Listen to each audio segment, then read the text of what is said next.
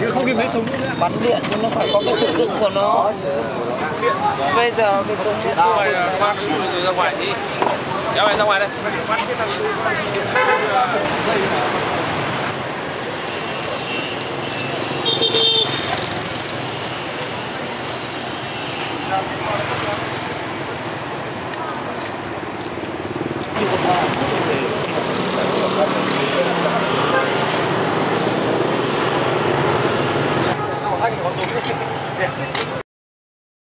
không có tìm đâu được khẩu súng. Hỏi nó ngay cái cái này là của ai như thế nào hỏi nó. Cái vậy nó cái sử dụng nó như thế nào. Mày bắt bắt lưới hỏi ngay cả cái đạo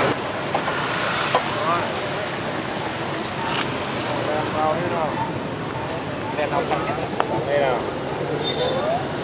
Đây này lại to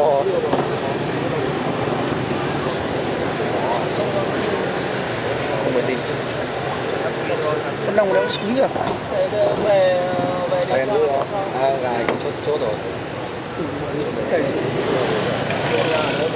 Tôi lại mình đã bảo ông chứ chắc có đấy. Ông giảm thanh. Quá hiện đại nhỉ. Kiểm tra con này thật kỹ xem xem lại. Đây đây có đạn đây là chắc chắn là có súng này. Có súng rồi chắc chắn phải có súng. Giảm thanh này. Ông giảm thanh rồi đây có đạn đây. Chơi đây là súng điện. Không ấy ấy, cho cho lên trên em mượn phát đây là cái giảm thanh giảm thanh anh anh, anh soi đèn thôi nhá. Soi đèn để hộ ông Rồi, rồi, anh mời anh ra ngoài đi. Kinh quá.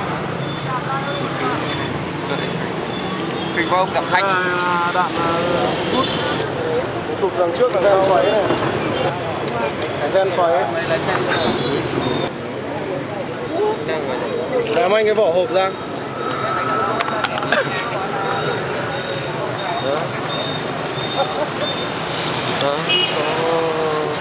tư các rồi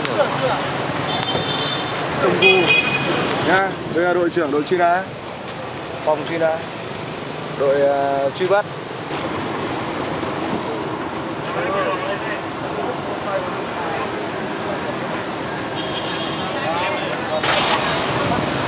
Đây tôi mình phân loại đấy Hoàng à bọn tôi lái ra để tí hút thoải mái.